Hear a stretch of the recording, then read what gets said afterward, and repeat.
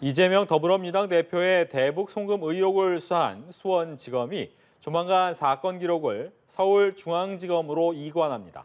대장동, 백현동 개발 의혹을 수사한 서울중앙지검은 그동안의 수사 기록을 합쳐 이 대표에 대해 구속영장을 청구할 것으로 예상됩니다. 강창구 기자입니다. 쌍방울 그룹의 대북 송금 의혹을 수사한 수원지검이 조만간 이재명 민주당 대표와 관련한 수사 기록을 서울중앙지검으로 이관합니다. 지난 9일과 12일 두 차례에 걸쳐 이 대표를 소환한 수원지검은 현재 피의자 신문 조서 내용을 분석 중입니다.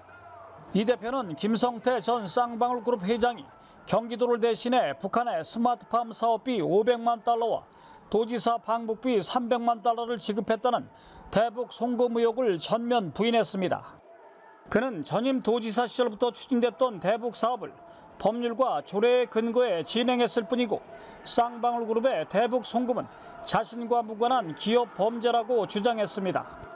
얼굴도 모르는 이 조폭 불법 사채업자 출신의 어, 부패 기업과 함께